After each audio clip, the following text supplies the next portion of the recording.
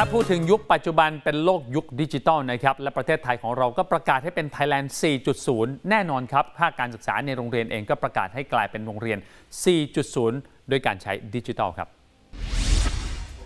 โรงเรียนบ้านโนนสะอาดตำบลดงมูลเหล็กอำเภอเมืองจังหวัดเพชรบูรณ์ใช้สื่อและอุปกรณ์มัลติมีเดียครับ ซึ่งได้รับการสนับสนุนจากบริษัท True Corporation จำกัดมหาชน ในการออกอากาศ ซึ่งก็มีเด็กนักเรียน 2 คนเนี่ยแหละครับเป็นผู้ดำเนินรายการเพื่อถ่ายทอดความรู้ให้กับทั้งคุณครูและนักเรียนในห้องเรียนต่างๆ ทั้งโรงเรียน เกี่ยวกับเรื่อง Thailand 4.0 ครับในการปรับเปลี่ยนการเรียนรู้เป็นรูปแบบใหม่ ๆ ผ่านการให้ผู้เรียนเป็นศูนย์กลาง เน้นการคิดวิเคราะห์และก็นำความรู้ที่ได้นำไปใช้สื่อสารนำไปใช้ปฏิบัติจริง ๆ ส่งเสริมการใช้เทคโนโลยีให้เกิดการเรียนรู้ สามารถใช้คอมพิวเตอร์ สามารถใช้อินเทอร์เน็ตในการสืบหาข้อมูลและองค์ความรู้ต่างๆ พื่อการเรียนการสอนได้นะครับ